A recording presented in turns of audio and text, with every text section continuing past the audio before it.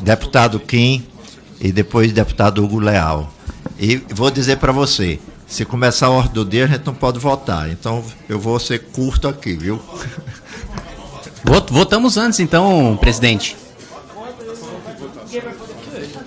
Em votação, o parecer do deputado Arnaldo Jardim, do relator. Os senhores deputados que aprovam, permaneçam como se encontram. Aprovado.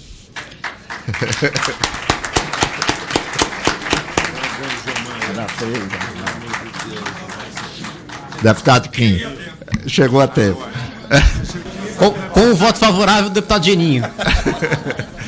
deputado Kim, por favor. Senhor presidente, primeiro parabenizar o trabalho de Vossa Excelência, o trabalho do deputado Arnaldo Jardim. Acho que é de fundamental importância a gente dar segurança jurídica e objetividade para a questão da parceria público e privada.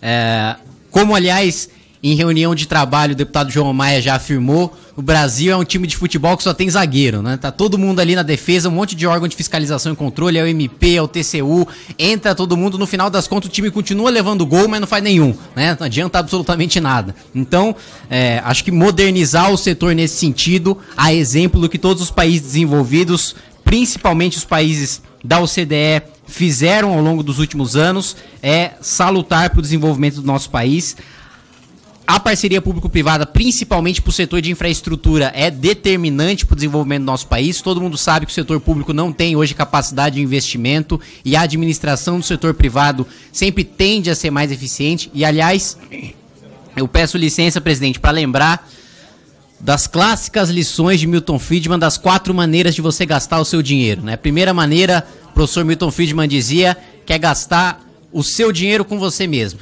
Então, deputado Arnaldo vai lá, ganha o seu salário, compra lá uma coisa barata, mas ao mesmo tempo de qualidade, porque é ele que vai usar, mas tá saindo do bolso dele, então também não pode ser muito caro. Segunda maneira de gastar o dinheiro, o deputado João Maia vai gastar o dinheiro, vai comprar um presente pro deputado Arnaldo Jardim, gastar o seu dinheiro com os outros. Então vai economizar, né? Vai numa lojinha não muito cara, mas também não vai pensar tanto assim na qualidade, né? Não é para ele mesmo, é para outro deputado. Já, já não vai gastar com tanta qualidade assim o dinheiro. Terceira maneira, gastar o dinheiro dos outros com você. Então, deputado Arnaldo Jardim empresta o cartão de crédito pro deputado João Maia. João vai na loja mais cara de todas, vai estourar o cartão, vai comprar de tudo, do, meu, do bom e do melhor, já que é para ele mesmo. E a quarta maneira é gastar o dinheiro dos outros com os outros.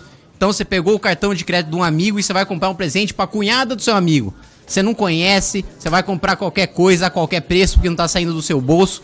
E é justamente dessa maneira que, em regra, o governo administra o nosso dinheiro. É um dinheiro que não é dele, para administrar um serviço que ele não vai utilizar. Então, justamente nesse sentido, trazer a parceria público-privada é fundamental para a gente levar em frente, ainda mais nesse momento do cenário econômico mundial, com juro negativo, com dinheiro parado e com tanta oportunidade de investimento aqui no nosso país. Então, parabéns ao deputado Arnaldo Jardim, ao deputado João Maia, o que vocês precisarem, podem contar comigo nesse trabalho de modernização do país.